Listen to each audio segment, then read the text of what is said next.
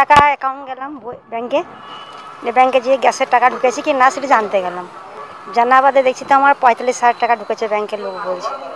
এবার আমি কিন্তু অবাক হয়ে গেলাম কি টাকা আমি রাখিনি, টাকা আমার কী করে ঢুকলো? ব্যাংক ব্যাংকে বললাম কি, দেখেন আমার টাকা কিন্তু কিসের টাকা এসছে? বলছে, বাড়ির টাকা। এবার মানে আমি বাড়ি চলে এলাম। বাড়ি আসার বাদে এরকম সবকে বললাম কি, এরকম রকম আমি টাকা রাখিনি আর বাড়ি কোনো ডকুমেন্ট জমা দিইনি।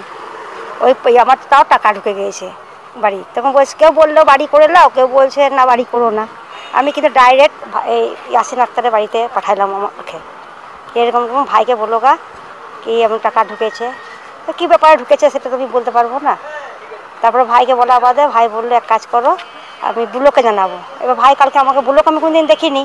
এই প্রথম কালকেই দেখলাম বুলোক। ভাই নিয়ে এলো আমাকে বুলোক। বুলোক কথা বাদে তুমি বললে কি, এমনি বিডিও সাহেবকে জমা দিতে হবে জমা দিয়ে দেবো। ঠিক আছে। আজকে আবার ভাই নিয়ে এলো। টাকা এবার জমা দিয়ে দিলাম। কত টাকা? পঁয়তাল্লিশ হাজার টাকা। আমি বিড়ি বান্ধি। এই টাকাটা কি অন্যজনের বাড়ির টাকা ছিল? হ্যাঁ এটা অন্যজনের বাড়ির টাকা। আপনি কি বাড়ি পাননি? আগে আমার আমি পাইনি আমার শাশুড়ি কিন্তু বাড়ি পেয়েছে। কিন্তু আমরা পাইনি। টাকা বাড়ি। এবার বিডিও সাহেব বললেন কি আমি বাড়ি দেবো। কেন বলল এই টাকাটা ফেরত দিলাম তার জন্যে। পুরস্কার হিসেবে দেবে। হ্যাঁ কি নাম আপনার? আমার নাম বেবি বিবি। বাড়ি? বাড়ি কানাই কোড্ডে কানাই কানাই কানাইপুর কোড্ডে বাটিপাড়া। যে টাকাটা না। যে প্রধানমন্ত্রী আবাস যোজনায় তো আমরা এদিকে থাকি স্যার। বাড়ি দিচ্ছি। প্রধানমন্ত্রী আবাস যোজনা আমরা এবার তিন হাজার পঁচিশ জন কোটা পেয়েছি আঠারো উনিশ সালে।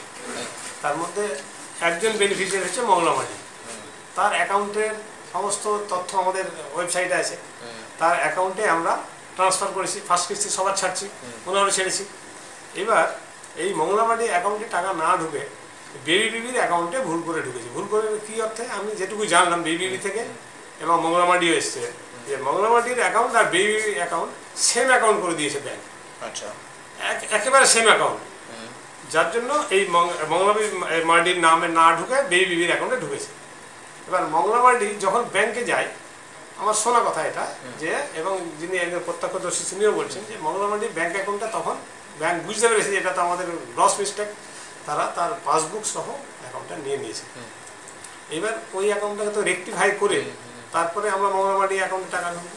আর ইনি এটা গুড সিটিজেন হিসাবে বেবিবি আর এই টাকাটা যে কিসের টাকা ঢুকলো হঠাৎ উনি বুঝতে পেরে আমাদের কাছে এসেছিলেন গতকাল যে এটা আমার কিসের টাকা ঢুকলো, তখন ব্যাপারটা জানলাম যে এটা মঙ্গলবাড়ির টাকা সেম অ্যাকাউন্ট থাকার জন্য ভুল করে বেবি ঢুকেছে বেবি আমার বলছে তাহলে স্যার টাকাটা আমার ফেরত নিন। উনি গুড সিটিজেন হিসাবে আমাদের কাছে টাকাটা ফেরত দিলেন। আমরা এটা আবার আমাদের গভর্নমেন্টের অ্যাকাউন্টে টাকাটা রাখব এবং এই টাকাটা আমরা আবার মংলামাটির অ্যাকাউন্টে দিয়ে দেবো।